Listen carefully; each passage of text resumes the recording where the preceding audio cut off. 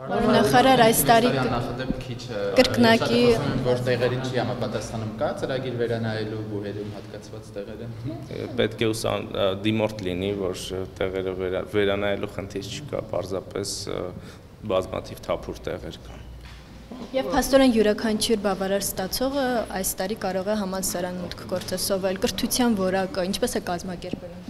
Դե դա դա խնդիր է դա ես ասել եմ արդեն որ այս տարի բուհերի համար ճգնաժամային է եւ պետք է փորձենք այս իրավիճակից դուրս գալ թեպեդև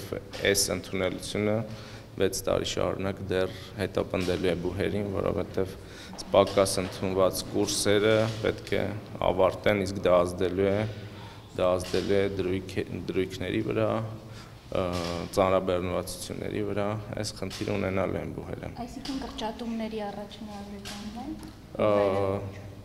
ես ես ես հույս ունեմ, որ դրան չի հասնի գործը։ Հարությունյան, դուք գոհ եք այն շտեմարաններից, գրքերից, որոնք կան, որոնցով այսօր աշխատում են, աշխատել են շրջանավարտները, փորձել են դրանցով պատրաստել։ Ոչ գոհ չեմ, որովհետև շտեմարաններն ու այն գիտելիք ստուգելու ձևը, որը այսօր գոյություն ունի,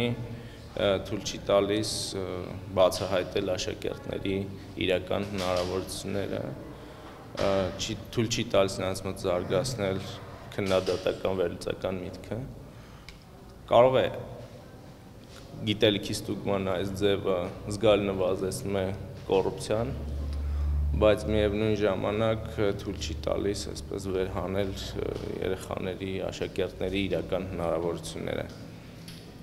այս տարի մենք չենք կարող փոփոխություններ անել, որովհետև ըստ էության մի քանի շաբաթ էր մնացել մինչև քննությունը մեկնարկի եւ որևէ փոփոխություն կարող էր վտանգել ընդունեցան քննությունները, բայց հաջորդ տարի այդ ուղությամբ աշխատանք կտանենք։ Իսկ առհասարակ դասագրքերի մասով դպրոցական որտեղ էլի դժգոհություններ կան, էլի դժգոհություններ կան, դժգոհություններ կան գրքերի հետ կապված, դասադման մեթոդների հետ կապված, ծրագրերի հետ կապված։ Ամբողջը առաջիկա ծրագրերը։ Ես ես ես խոսել եմ, մենք պետք է այնպիսի աշակերտ, ավարտող աշակերտ ունենանք, որի մոտ այլ որակներ զարգանան, քան անգիրը։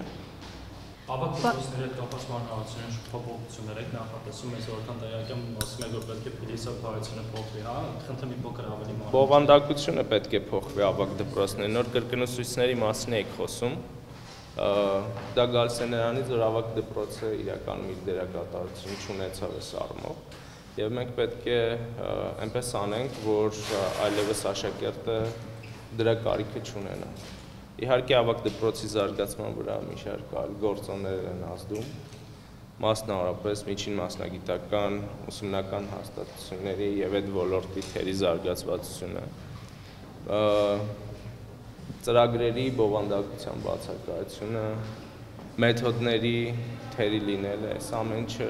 շատ հստակ հոսքերի բացակայությունը ավակ դպրոցներում այս ամեն ինչը ազդել է որակի վրա եւ ճիշտ են նշում ծնողները աշակերտները որ երբեմն 12-րդ դասարանում անելիք չի լինում